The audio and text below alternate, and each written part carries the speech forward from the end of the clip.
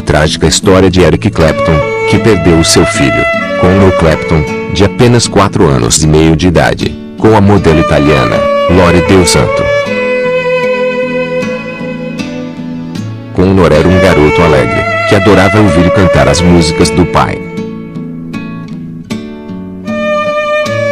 A família morava em um arranha-céu, na cidade de Nova York. No dia 20 de março de 1991, Conor brincava de esconde-esconde com a babá, enquanto esperava pelo pai.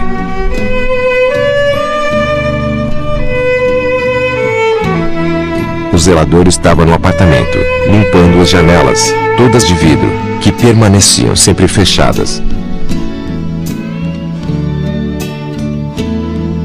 Naquele dia, entretanto, o zelador havia aberto uma delas, e então, o inimaginável aconteceu.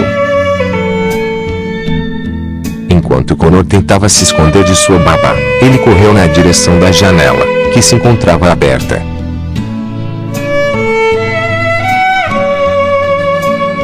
Connor caiu de uma altura de 147 metros, 49 andar, atingindo o teto de um edifício vizinho.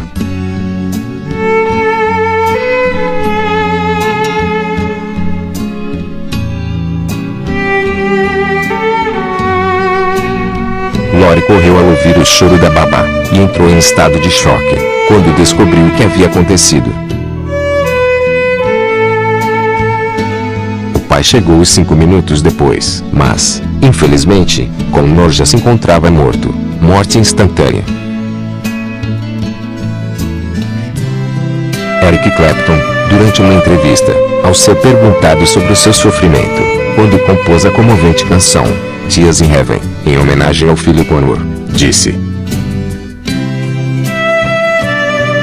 Quando coisas importantes acontecem na minha vida, eu escrevo sobre elas para tentar trazer paz para minha cabeça. A morte de meu filho me ajudou a escrevê-la. Essa história é infinitamente trágica e nos mostra o quanto a vida é efêmera, cheia de surpresas, uma verdadeira caixa de Pandora. Por essa razão, nós devemos sempre aproveitar ao máximo o tempo que temos com as pessoas que amamos.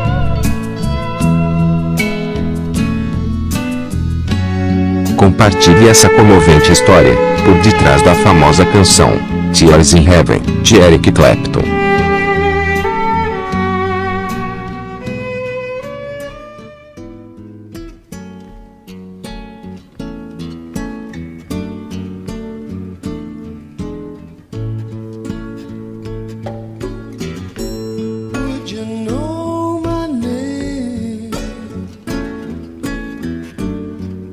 I saw you in heaven,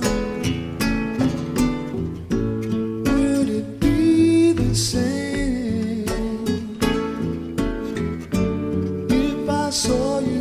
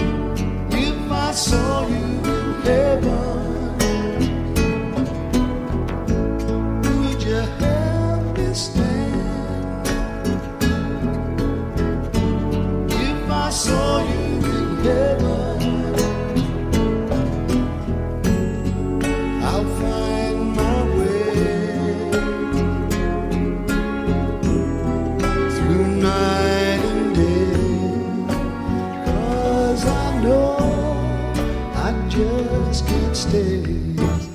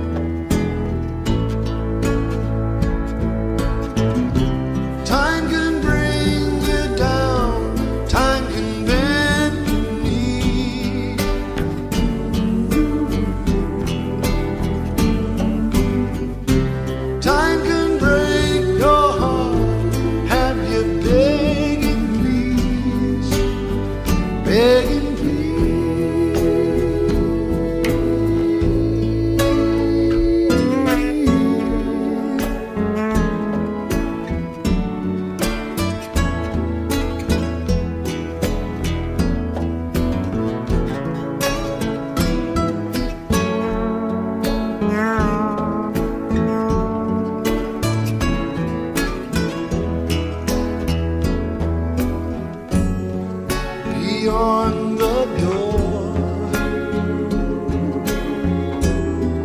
There's peace, I'm sure.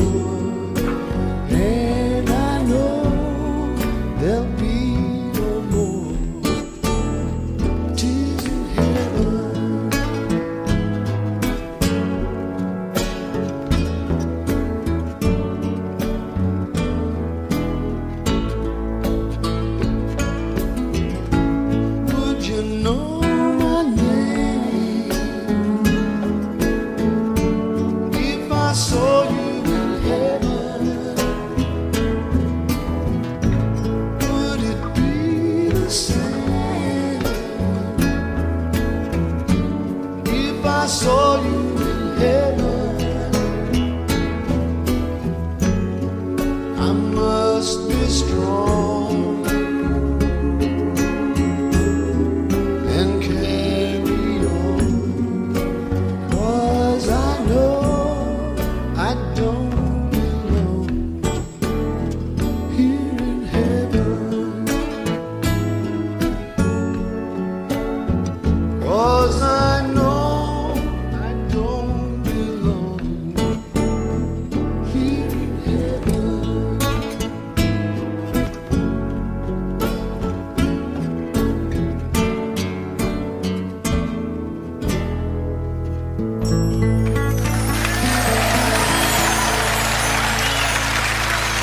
Thank you.